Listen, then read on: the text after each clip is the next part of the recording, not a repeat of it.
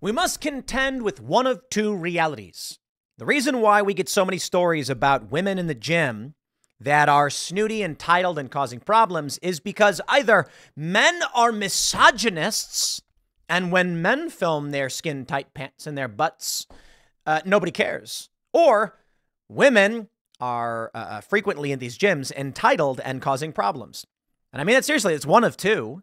Maybe there is a bias. I think many women are going to say it's not fair. These gym bros show up, they do these things, and then nobody complains. But when a woman gets mad, I think for the most part, guys aren't really filming themselves work out. But I want to tell you about the reality that men face too. See, you know, we, we, we here at Timcast, we got a personal trainer now. We're doing group sessions for the entire staff. All are welcome to join to get fit once per week. And then the rest up to you, really. And then for uh, uh, myself, uh, my girlfriend and I, we are doing three days a week of personal training. And on top of that, I skate. I've been skating every single day, at least two hours. Uh, in the past week, I did take just Friday off. Thought that would be appropriate to have one day where I didn't skate, but at least two hours every single day. So intense workouts over the uh, uh, the past week. And we got to give a shout out to Fitcast IRL. We're shouting out everybody. You watch this show, you watch Timcast IRL. The goal is to get fit by November. And I'm not saying get swole, I'm saying get fit. So if you find that you are overweight or whatever, uh, make better choices. I think what is the app? My Fitness Pal is the app that we use, that I use. It's awesome. It does cost money, but uh, you get to track. Actually, I haven't even put in my my food today. I'll do that right here. So today I had, um, let's do, we go to the most frequent. You enter in the food you ate. I had a protein shake for breakfast. I had a half cup of rice flour, some butter, some mixed berry preserves, and then I actually had a, uh, the protein shake I had today, I actually used the uh, Fairlife strawberry milk. There it is. And let's see if I got that in. And then I track all of that, and there you go. And I think I got everything in there. It looks kind of weird. What is it? 50 grams of protein, 20 grams of fat, 72 carbs. Sounds about right. We're getting fit, ladies and gentlemen. And uh, uh, so I'll give them a shout out. We're going to read that chat. But let's talk about this story because it's a question of is it that women are entitled in these gyms and causing problems? I mean, there's it, it's like never ending, never ending. Check this out. The New York Post says a personal trainer who was recording her workout at a gym has been slammed for her wild response when another gym goer interrupted her video. The fitness coach, who posts under the handle at Shaped by Shiana, has captured the attention of gym fans after she shared a clip of herself performing a set of deadlifts. But the footage has gone viral for all the wrong reasons after many noticed Shiana shoo away a fellow gym goer who stepped in front of her camera while attempting to grab weights from a nearby rack dude. I, I can't handle this, okay? The reason why I want to talk about this is because as I've begun to lift, uh, yesterday, personal trainer was unable to come. So when he said, you know what he said? He said, I get a message says do 100 push-ups. And I went, yes! And then I immediately started doing push-ups. And I broke them up throughout the day. I did my first 50 push-ups uh, throughout the day periodically. Just whenever I had time, I'd be like, I'm standing here, push-ups. And then, however, by the time the show wrapped, I had only done 60, so I had to do 40 in the next half an hour before bed. But that I will not, will not back down. And uh, in this, I have found that uh, let me let me let me let me grab this video for you. I'll play this video in a second. Uh, what I found is when I'm getting to my limit, I grunt. You know, Ian was pointing it out. He was like, I hear Tim in the room going like, like I'm I'm I, I don't know. It's like a natural thing where it's like it just happens. And I remember I used to go to uh, Planet Fitness, which everyone hates now. And uh, is it Planet Fitness? I think it's Planet Fitness. Let me let me let me make sure this is right. Because if I'm getting it wrong, uh, what is this? Yeah, Planet Fitness lunk alarm, a loud siren where they mock you when you're working out. And I'm like, I don't want to be there.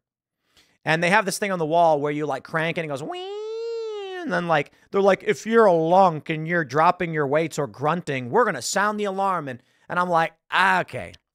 I guess you're better off buying your own weights and going home. Like, dude, the room we have where we're lifting, it's a separate room.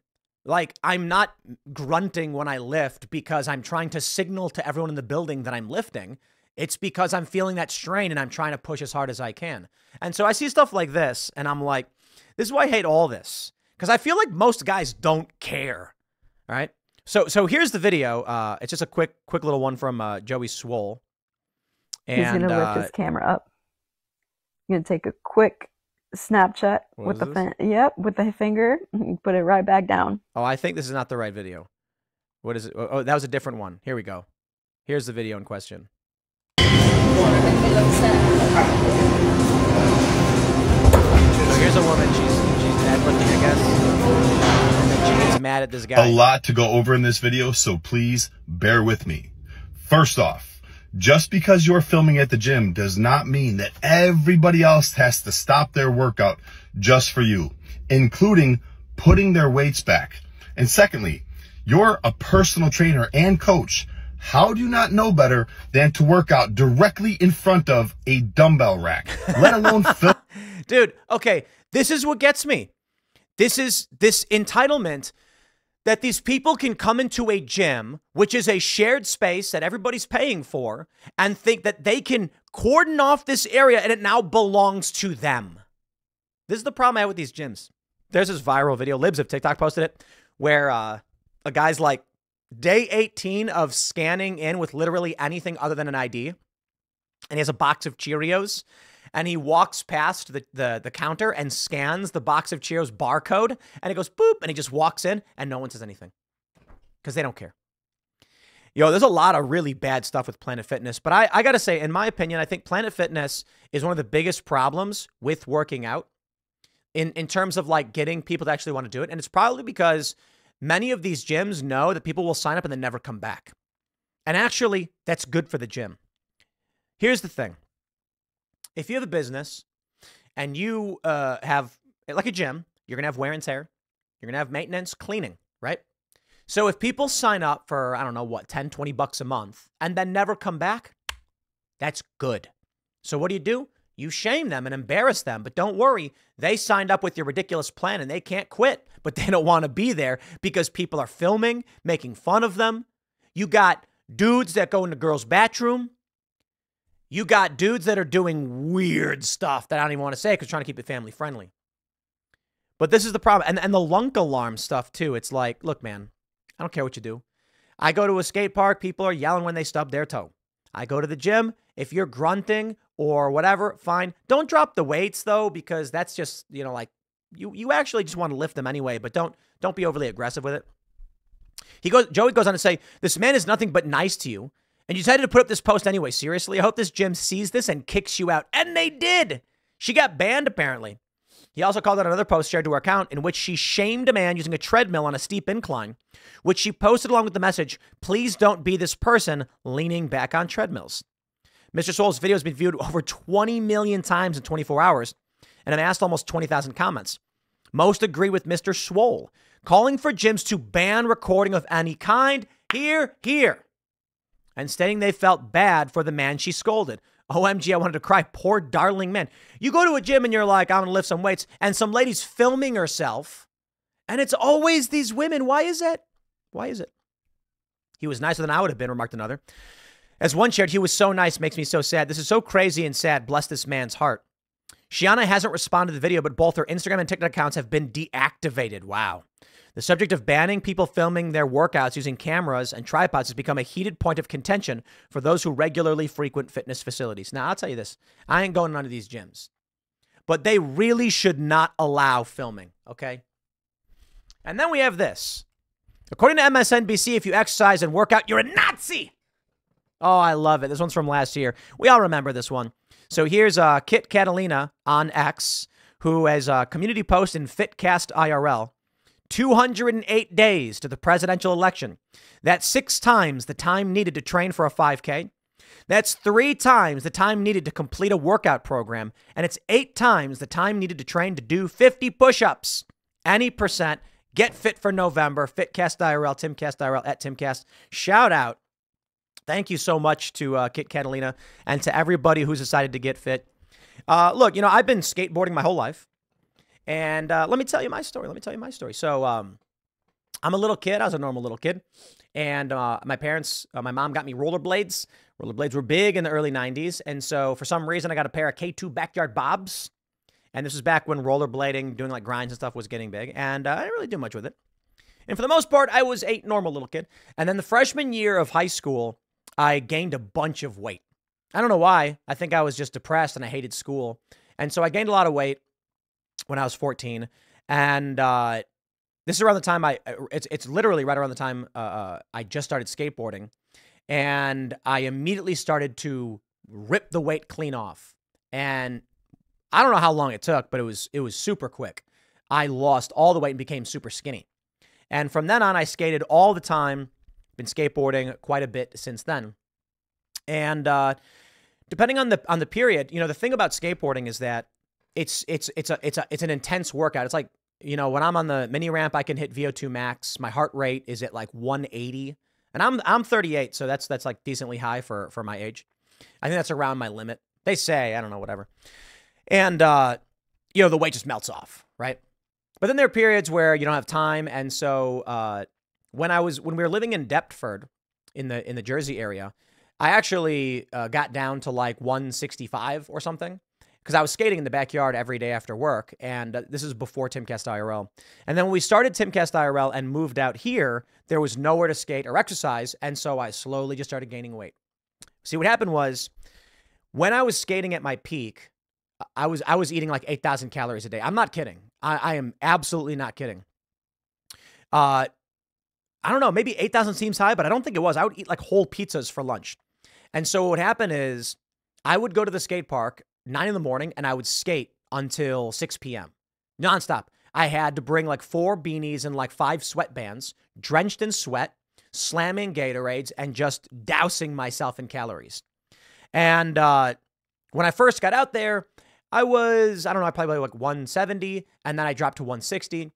And uh, uh, when I stopped skating, you know, for whatever reason, or slowed skating down, my eating habits relatively stayed stayed relatively the same. So I'm eating a ton of calories. And so then, uh, you know, coming here uh, to West Virginia with nowhere to skate, I, I within like I think it was like a year and a half, I was up to 200 pounds, and uh, now I'm at 180.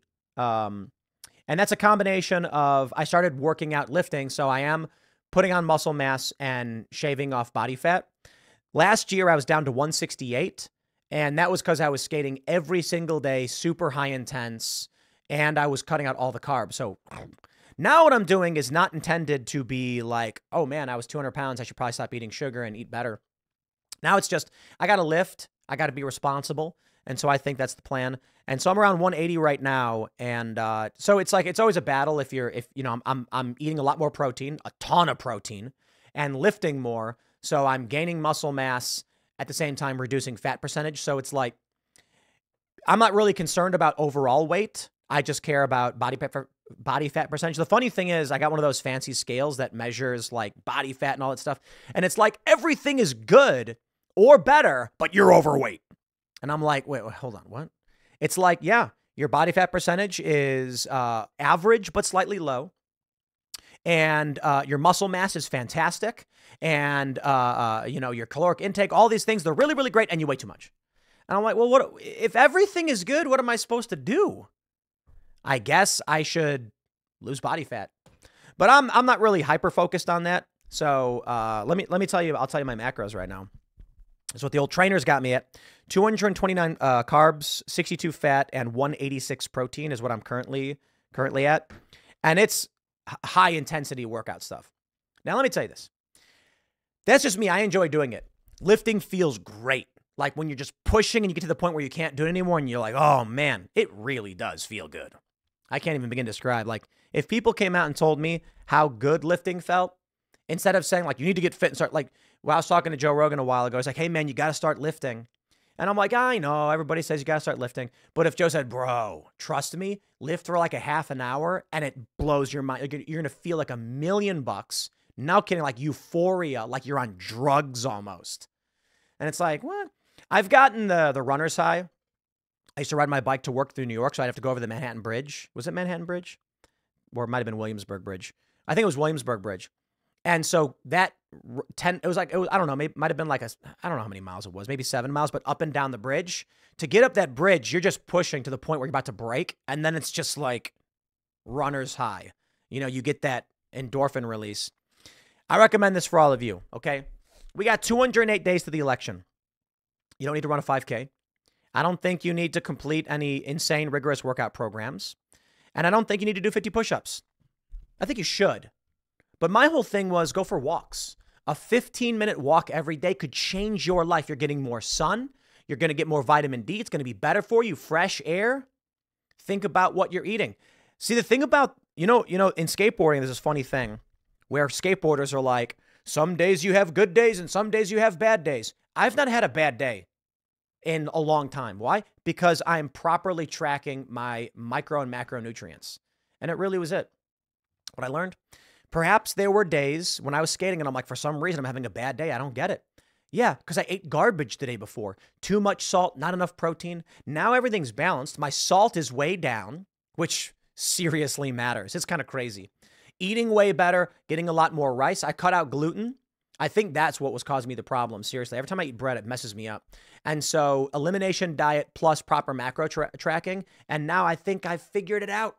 Figured it out. And I feel like a million bucks. I've been skating every day and feeling really good and landing new tricks and, and, and getting it done. So, here's what we can do. Everybody's talking about what can I do to change the world? What can I do? Well, you can take Jordan Peterson's advice and uh, clean your room before you try to change the world. And that is get fit get healthy. And you know what? For a lot of guys, it's going to make you more attractive. It's going to make you more confident. It's going to feel better. It's going to make you more effective in ever in many ways. I mean, and don't get me wrong, like ladies, you can get fit too. We want to be the best versions of ourselves. If we truly believe that this country is worth saving and there are deep problems with, with it, then Jordan Peterson's advice of one, cleaning your own room implies get healthy, and two, find the heaviest thing you can carry and carry it. He's right. Not that Jordan Peterson's the guy who's lifting, because he certainly does not appear to be, but he's totally right about this. And then I love the one where he says, don't bother kids when they're skateboarding. That's right. So I'm going to lift heavy things. I'm going to clean my own my own room and skate. In all serious seriousness, my girlfriend cleans my room for me, but you know, that's a whole other story. It's always great to have someone there who helps support you, and uh, we work out together. And she actually helps. Um, she actually cooks the food, and she makes.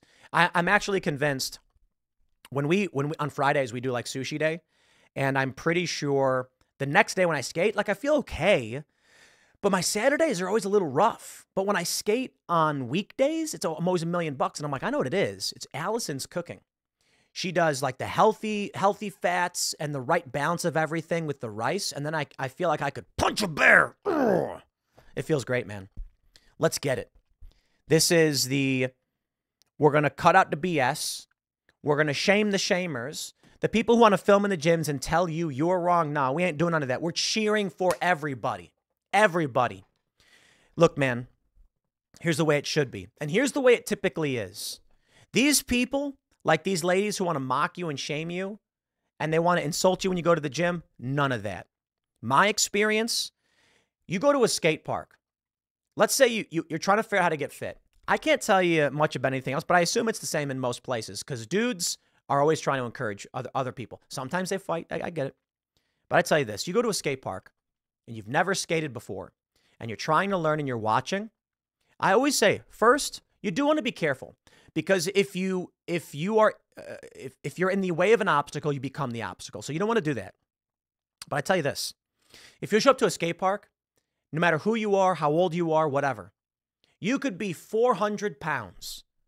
You walk in, or you could be scrawny. You could be 5'3 and 100 pounds soaking wet.